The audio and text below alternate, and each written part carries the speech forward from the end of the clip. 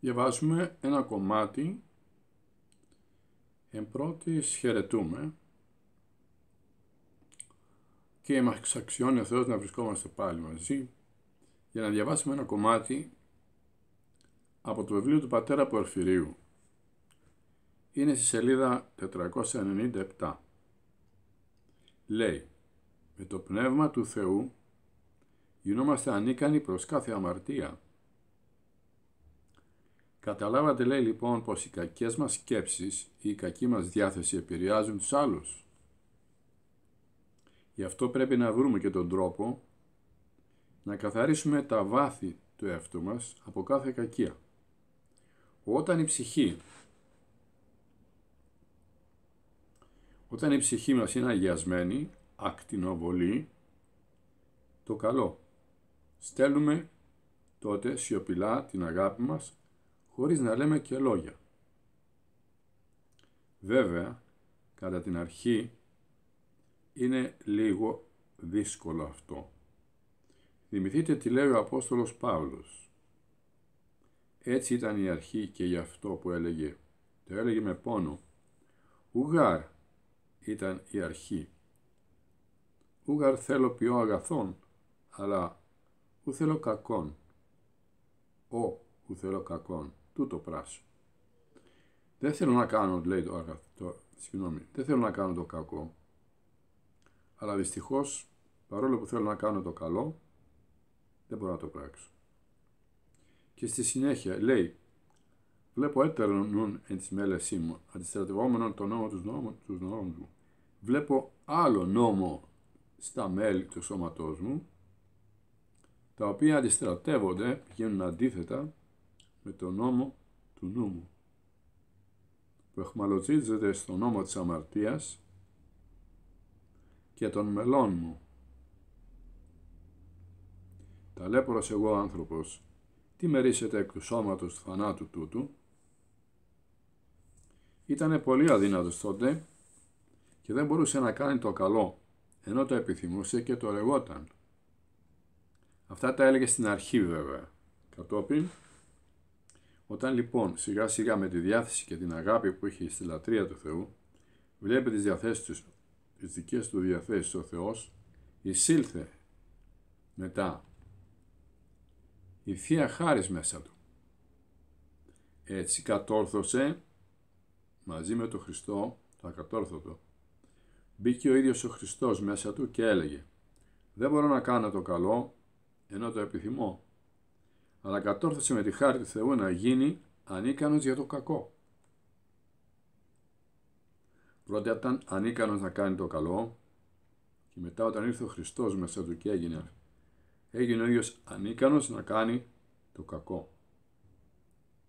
Και φωνάζω μάλιστα, ζω δε μικέτη εγώ, ζει δε εν Χριστός.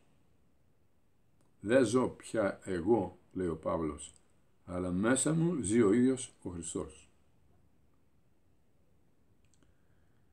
Το έλεγε, το κήρυτε με καύχηση ότι έχω μέσα μου το Χριστό. Ενώ πριν τι έλεγε, ήθελα να κάνω το καλό, αλλά δεν μπορούσα. Πού πηγαίνω εγώ ταλέπορος άνθρωπος. Πάει αυτό. Η χάρις μέσα σου τελείωσε το έργο της αλλά ταλέπορος έγινε ο χαριτωμένος. Από ταλέπορος έγινε χαριτωμένος. Από ταλέπορος έγινε ένας άνθρωπος χαριτωμένος. Τον πλήρωσε η χάρις αφού πριν ταπεινώθηκε πολύ. Το Πνεύμα του Θεού, όλοι με το Πνεύμα του Θεού, γινόμαστε ανίκανοι προς κάθε αμαρτία. Όταν δεν αμαρτάνουμε, αμαρτάνουμε, να μην νομίζουμε ότι είναι δικό μας αυτό το επιτεύγμα, διότι ο Θεός συνεργεί να μην αμαρτάνουμε, γιατί ο άνθρωπος πάντοτε είναι αμαρτωλός. Είμαστε πλέον ικανοί μόνο για το καλό.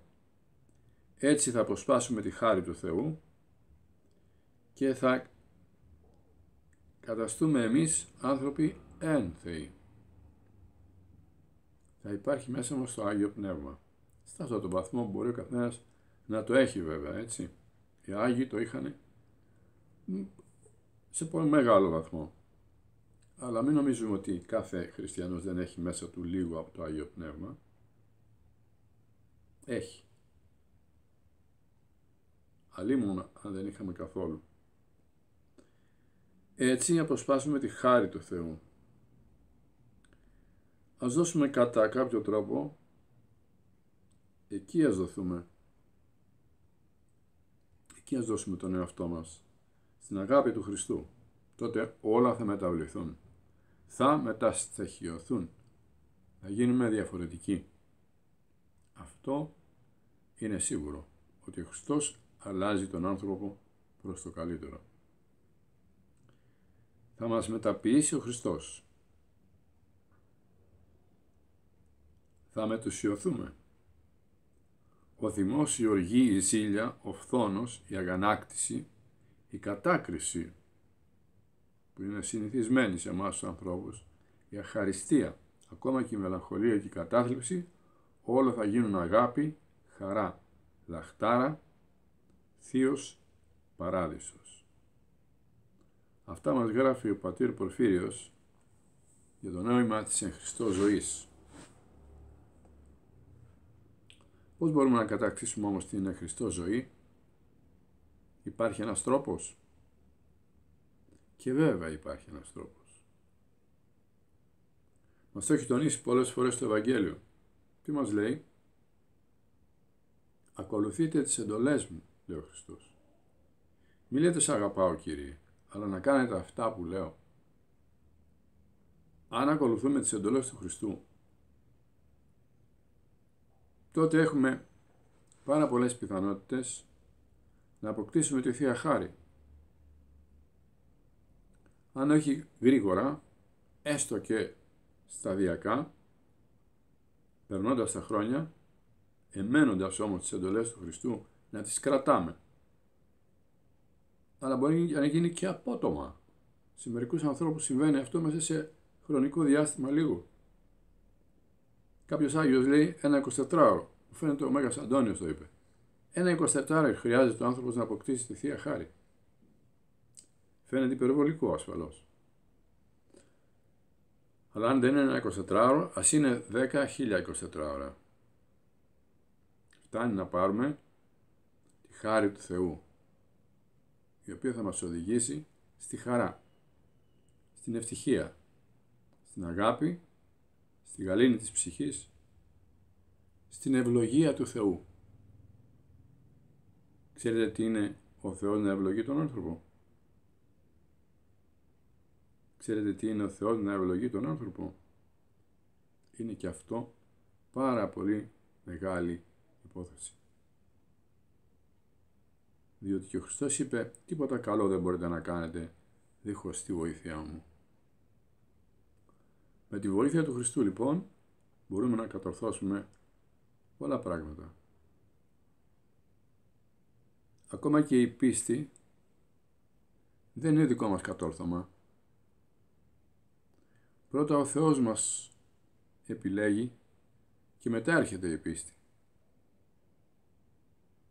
Βέβαια με την πίστη ο άνθρωπος κάνει πολλά πράγματα. Αν λείψει η πίστη, ο άνθρωπος, η ψυχή παραλύει. Οι άθεοι γι' αυτό είναι δυστυχείς, γιατί δεν έχουν πίστη. Και νομίζουν ότι ζουν καλά, ενώ ζουν τη χειρότερη ζωή. Η ζωή των αθέων, ό,τι και να κάνουν, όσα και χρήματα να έχουν, όσα πράγματα σε αυτόν τον κόσμο να έχουν και να υπάρχουν, όσους τίτλους να έχουν, όση καταξίωση κοινωνική να έχουν, μέσα τους δεν έχουν χαρά. Γιατί λείπει το Άγιο Πνεύμα, το οποίο δίνει χαρά, δίνει αγάπη, δίνει ελπίδα, δίνει ειρήνη και όλα τα καλά στοιχεία αυτά. Να λοιπόν ποιο είναι το μυστικό αυτής της ζωής. Να επιδιώξουμε τη χάρη του Θεού. Την επικοινωνία με τον Ιησού Χριστό. να παρακαλούμε να έρθει μέσα μας ο Παράκλητος, το Πνεύμα της Αληθείας, που είναι μεν πάντα χου παρόν και τα πάντα πληρών, αλλά δεν τον θέλει ο άνθρωπος δεν έρχεται. Γιατί η προσευχή παρακάτω λέει «Ελθέ και σκήνωσον εν ημίν». Παρακαλούμε δηλαδή το Πνεύμα το Άγιο να έρθει. Δίχως να το παρακαλέσει ο άνθρωπος δεν έρχεται το Άγιο Πνεύμα. Πρέπει να το ζητήσει ο άνθρωπος. Έτσι δουλεύει ο πνευματικός νόμος. Ζήτησε και θα πάρεις. Αν δεν ζητήσεις τι να πάρεις; Έτσι λέει και ο Χριστός. Ζητάτε, χτυπάτε την πόρτα και θα ανοίξει. Η πόρτα του ελέους και θα σας ανοιχτεί. Θέλει υπομονή και επιμονή η πνευματική ζωή. Να μην τα παρατάμε ποτέ. Να είμαστε εκεί, συγκεντρωμένοι στην προσευχή και στο Λόγο του Χριστού. Να μην ξεχνάμε. Να μην αφήνουμε τον εαυτό μας έρμεο της κάθε σκέψεως και του κάθε λογισμού, να τον επαναφέρουμε. Εκεί που είναι η βάση στο Χριστό. Κύριε Ιησού Χριστέ, ελέησόν με. Αυτό ας είναι ο σκοπός και η βάση της ζωής μας και όλα τα άλλα θα είναι καλά.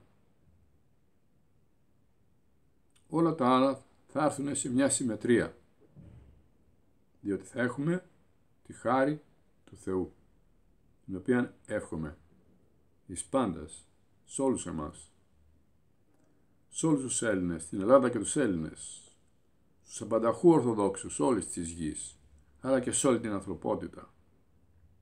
Να προσευχόμαστε για όλους τους ανθρώπους, να τους φωτίζει ο Θεός, γιατί βλέπουμε πώς κλειδονίζεται αυτή η δύσμηρη ανθρωπότητα και πού θα φτάσει στο τέλος. να λυπόμαστε τους ανθρώπους που είναι μακριά από το Θεό. Και η αθεία αναθεωρείται η μεγαλύτερη αμαρτία. Το να γνωρίσει τον Κύριο. Αυτό είναι που σε έπλασε, αυτό είναι που έκανε όλα αυτά τα πράγματα που σε περιτριγυρίζουν. Ποιανού είναι; Τι είμαστε εμείς; Είμαστε μικρά στρατιωτάκια. Είμαστε αλλιώς περιουσία του Θεού ανήκουμε λίγο στον εαυτό μας, αλλά περισσότερο στο Θεό. Γιατί Αυτός έχει βάλει τα περισσότερα στη ζωή τη δική μας. Εμείς φέραμε τη ζωή μας στον κόσμο. Δεν είναι δώρο η ζωή. Άρα αυτό το, το δώρο πρέπει να μας κινεί σε ευγνωμοσύνη προς το Θεό. Να του είμαστε ευγνώμονες για το δώρο της ζωής. Γι' αυτό άλλωστε και η αυτοκτονία θεωρείται μεγάλη αμαρτία. Γιατί δεν προλαβαίνει ο άνθρωπος να πει ένα Κύριε ελέησον. Παρά δίνει τη ζωή του στο θάνατο, στο διάβολο. Ο Θεός θέλει να έχουμε ζωή, να έχουμε χαρά, να έχουμε υγεία, να έχουμε ευτυχία. Δεν θέλει να έχουμε κατάθλιψη, απελπισία. Έπεσες, πρέπει να σηκωθείς και να διώξεις την απελπισία. Η απελπισία είναι φοβερό αμάρτημα. Γιατί; Δεν επανέφερες τον εαυτό σου πίσω, τον άφησε πεσμένο χάμο. Φανταστεί έναν άνθρωπο να πέσει στον δρόμο και να μην σηκώνεται. Αυτό είναι η απελπισία. Μετά τις πρώτες ευχές εύχομαι και να μας δώσει ο Θεός το νου και την νόηση να πράττουμε πλέον εδώ το καλό. Να απορρίψουμε την κακία που έχουμε μέσα μας, να απορρίψουμε τον κακό μας εαυτό, να παλέψουμε για να φύγει ο κακός μας εαυτός και να μπει η χάρη του Θεού να μας μεταμορφώσει. Το εύχομαι σε όλους και εις εμάς, αγαπητοί αδερφοί. Χαίρετε. Χαίρετε εν Κυρίω.